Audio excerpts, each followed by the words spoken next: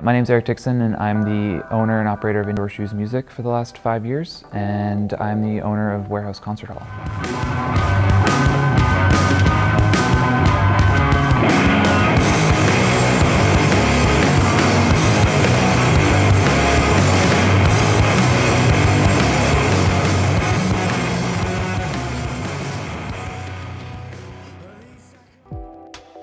I've probably been in, into music for my whole life. Uh, I moved to St. Catharines about 10 years ago, and one of the reasons I moved here was the local music scene. So to be working in it wasn't a plan, but uh, after I graduated from university at Brock, I started working with a partner on promoting concerts. I came into Indoor Shoes sort of a, about six months after it started. It was started by uh, Timur Insioglu and Shane Turner, really as just like an idea to help their friends who are in bands play more shows. When we first started, started, we weren't booking a ton of uh, larger out-of-town touring artists, but as we progressed, we started getting into more of that type of booking, which gave us, you know, the opportunity not only to bring bands who are larger to St. Catharines, but also local artists the opportunity to play with some of those bands.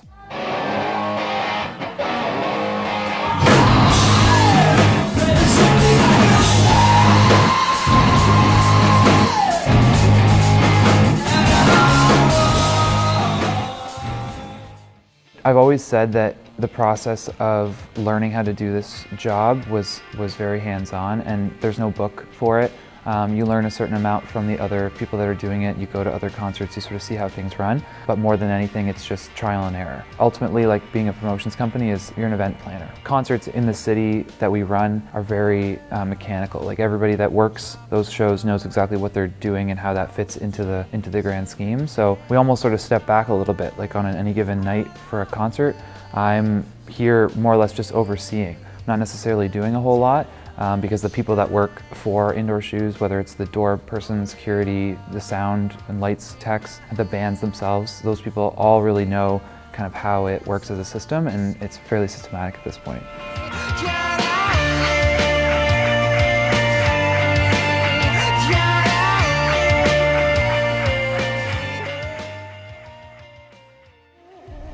What drives me to succeed in doing this is the experience that other people are having. I love being a part of concerts and, and seeing bands as often as I do. A huge motivation for why, why I do this is getting to see the experience other people are having. The Niagara region has, at any given time, at least 100 to 150 active local musicians and bands. So that obviously makes it easy to be doing events as frequently as we are.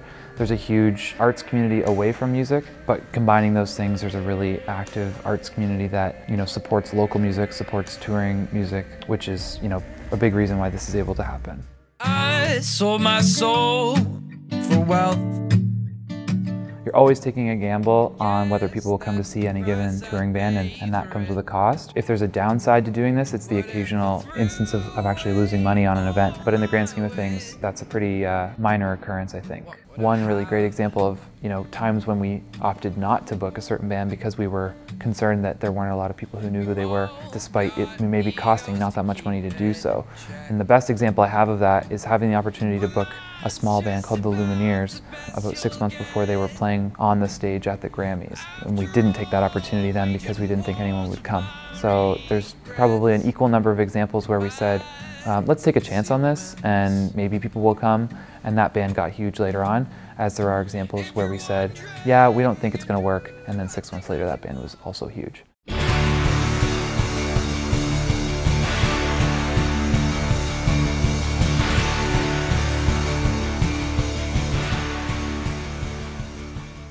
Warehouse was never really a fully intentional project over the long term.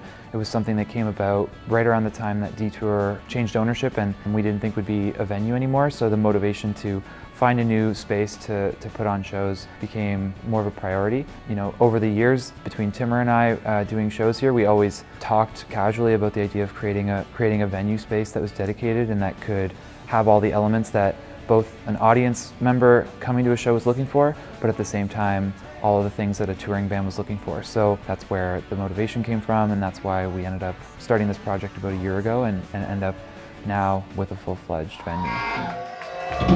Hopefully this will be one of used shows around. So give it up for Erik and Indoor Shoes.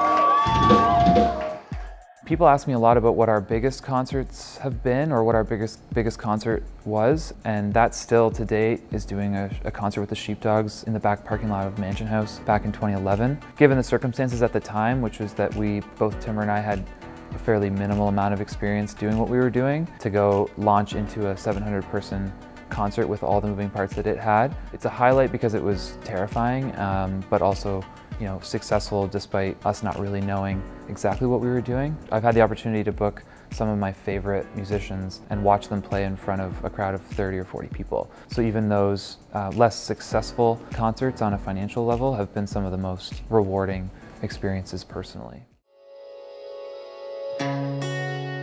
The long run, I think success for me is is just being a part of this long-standing project that is like the music scene in this area. It's about this being a home for a lot of the stuff that's already being, been going on but didn't necessarily have a great place for it to happen. So those are those are a few ways I think that, how I would define being successful. You know, my goal here and what I see happening in the future is that we create this venue that can host all different types of music and different types of events and that can live longer than, you know, even maybe I'm a part of it.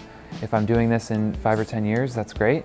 But if, even if I'm not, I still hope that this, you know, this space exists for, um, for bands and artists to use.